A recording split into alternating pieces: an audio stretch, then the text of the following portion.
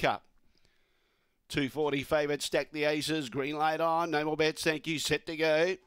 Away, stack the aces, began okay, or swinging wide immediately was Shay's Magic and bumped into the others. Getting in a nice position is Phil's Green, but in the meantime, Bell of Eden took the lead. Phil's Green, nice and handy, goes up and challenges, then stack the aces. They've got clear by about four lengths in front of the others. Santan Sam, the others are all bumping.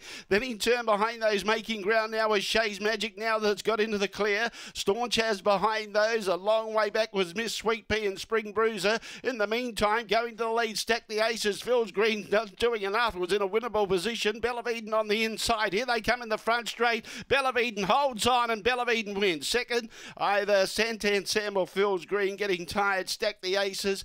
But I think it's finished fifth because Shay's Magic down the outside probably grabbed it for fourth. Behind those staunch as Miss Sweet Pea was never in the tail end of the field. And uh, Spring Bruiser was the last one to pull up. 38.27 was the time. 3.85 and should be two for four.